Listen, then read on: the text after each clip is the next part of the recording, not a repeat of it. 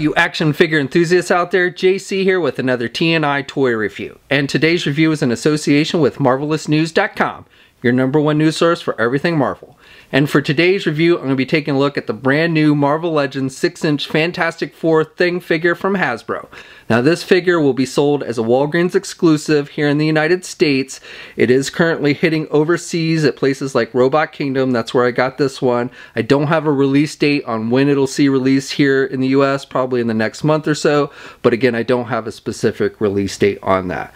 Now this figure comes packaged in the same kind of packaging we see with all the Marvel Legends. You've got the black box with the Legend Series logo up at the top. The figure's clearly displayed. Down below you've got the Fantastic Four logo and the name of the character. And I do want to say this figure is quite heavy when you pick it up. You know, it, it is noticeably more heavy than a regular Marvel Legend figure. So it definitely seems like a solid figure. On the sides, you've got some artwork for Thing, and it's the same on both sides. And then on the back of the packaging, you have a look at the actual figure and a brief bio in multiple languages. All right, let's get this open and take a look at what's inside. Okay, so here's a look at the figure outside the packaging along with the other contents. Now let me just say right off the bat, I think this is probably the nicest thing figure that we've ever gotten in 6-inch action figure form. The detailing with the rock and everything is incredible looking with this figure and the weight on it is great. But before we look at the figure in more detail, let's actually check out the accessories that come with it. And switching out these head sculpts is easy. You just pop off the one you want to replace and you got the ball hinge joint there and then you just pop on the one you want to replace it with. So this is the second head sculpt where he's gritting the teeth and everything and I think both look equally good on the figure. And then finally, the figure comes with two different pairs of hands, so you get a pair of closed fists for punching things, and then you just get a pair of open hands. Uh, they're not really grip hands, but the fingers are open and everything. So it's a nice touch that they gave us, you know, two different pairs of hands. Definitely you would think the thing would come with closed fists, but I like the fact that they gave us the open hands as well. And switching out the hands is easy. You just pop off the hand you want to replace. You've got the peg on the hand and the hole in the arm, and then you just plug in the hand you want to replace it with, and it fits fits nice and tight. Now for the figure itself, again, I really like the detailing with all the sculpting with the rock and the wash effect with the darker. And then I think they nailed the color of things rock pretty good with this kind of orange color that they used. So overall, you know, I think this figure looks incredible. I, you know, I'm not exaggerating when I say this is probably the best thing uh, figure that we've gotten from either Toy Biz or Hasbro. And you even have the nice detailing on the back. Um, so he is wearing the blue shorts uh, as opposed to like the longer pants that you sometimes see him wear.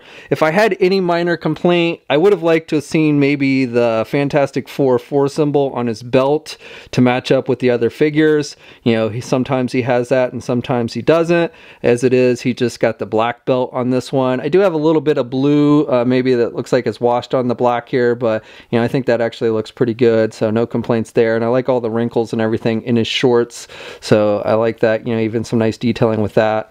But otherwise, you know, he's just got all that rock skin and I, I just think it looks incredible on this figure. So the thing here is a pretty good height. He's about just under seven and a half inches. And then I also, you know, he's very wide. I think, you know, the thing tends to be wider than taller. You know, he's a big guy, but he's not, I don't really consider him usually a super tall guy. So the thing here, his width is about four and a half inches in width. So, and like I said, the weight on this guy is really heavy. So, you know, he's definitely a solid figure.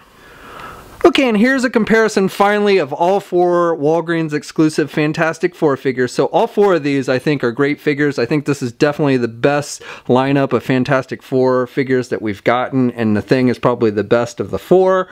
And I think they all scale up nicely with one another. Thing is the tallest of the four. He's also the widest. Um, and so again, I think the scale works really well with these guys. Like I said before, my only minor complaint is I do wish they had included a four symbol on his waist to match up with the four symbols on everybody else.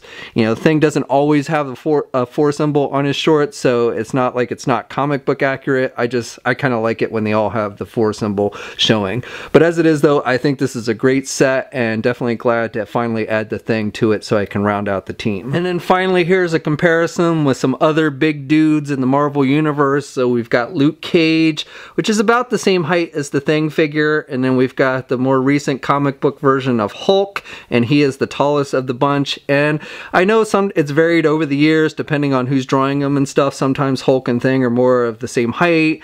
Uh, sometimes Hulk is taller. I think Hulk should be a little bit taller than Thing, and Thing should be thicker. So I think these two figures actually look very good next to each other. And then finally we have the Disgraced Thor, which again I think scales up pretty good. I wonder if Hasbro is going to give us a modern Thor with the new gold arm and everything anytime soon. Okay, so articulation on this figure isn't bad, especially for a big guy. You can turn his head to the left and to the right and he can look down a little bit but if you do it too much you'll pull it off the ball joint and then he can look up a little bit really he can only look straight ahead he really can't look up very much you get a little bit of head pivot with this one but not a whole lot now the arms are attached with your standard ball hinge joint there at the shoulder, so you can get his arm out good. You've got good rotation there at the shoulder. He does not have a bicep swivel. Looks like he does, but he doesn't. Only has a single hinged elbow, so he can bend his elbow that much. And then he does have rotation at the elbow. You've got rotation with the hands, and you've got hinges on the hands, so you get good up and down movement, more down than up, but pretty good movement, even though the rock on the arm actually comes over the wrist a bit.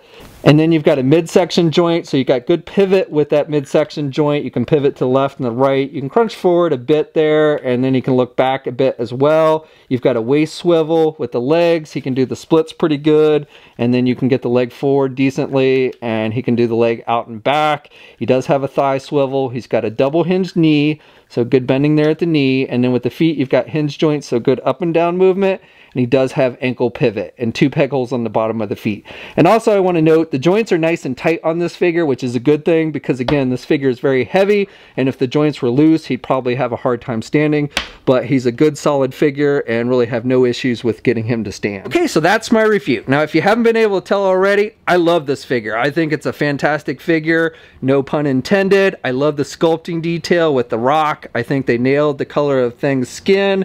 It, the size is great. I like like the height and the width. It's got a good weight and it fits in perfectly with those other Walgreens exclusive Fantastic Four figures. So if you're a fan of this team, I think, you know, and especially if you've been picking up the other Fantastic Four members, you're definitely going to want to get this one. Now this figure will be released as a Walgreens exclusive here in the United States. I don't have a specific release date, but I'm guessing it'll probably be out by August. It is currently hitting overseas and places like Robot Kingdom have had it in stock and that's where I got mine. We'll have a full image gallery up at marvelousnews.com. There'll be a link in the video description below. As always, leave a comment and let me know what you think. If you're so inclined, please like the video. And if you haven't already, please subscribe to the channel. I'd really appreciate it. Also, hit that bell notification so you'll be alerted every time I upload a video.